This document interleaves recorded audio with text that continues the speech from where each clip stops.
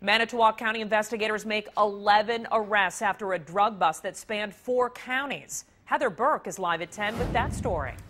The Manitowoc County Sheriff calls it one of the biggest drug busts in northeast Wisconsin.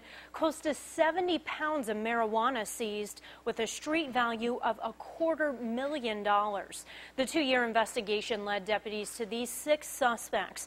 Five more were also arrested, but their mugshots were not available. The sheriff tells us Haley Wagner and Antonio Creighton, both from Manitowoc County, were the ringleaders. The others involved were arrested in Sheboygan, Calumet, and Milwaukee counties. 11 firearms were also seized and more than $200,000. The Manitowoc County Sheriff tells us if anyone sees suspicious activity in their community, it's important to report it immediately.